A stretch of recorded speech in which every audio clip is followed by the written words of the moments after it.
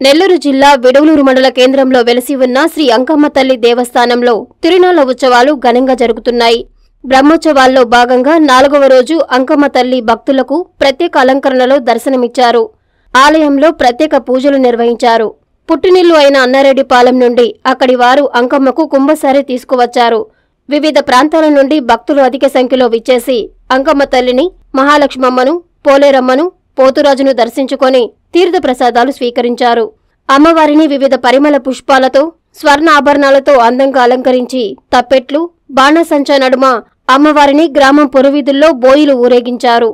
Doctor Ramaswamy super speciality hospitals కావలిపట్టణ మరియు పరిసర ప్రాంత ప్రజలకు శుభవార్త. Doctor M Ramaswamy trauma spine కీళ్ళ మార్పిడి స్పెషలిస్ట్. మోకాళ్ళ మార్పిడి తుంటి మార్పిడి ఆపరేషన్లు చేయబడును. విరిగిన ఎముకలకు వెన్నుపూస ఆపరేషన్లు అత్యాధునిక పద్ధతుల ద్వారా చేయబడును. Doctor P. పుష్పిక గుండె ఊపిరితిత్తులు షుగర్ అండ్ రుమటాలజీ వ్యాధుల వైద్య నిపుణులు. Doctor T. Sudeep Yadav general మరియు ఎండోస్కోపీ అండ్ లాప్రోస్కోపిక్ సర్జరీ నిపుణులు.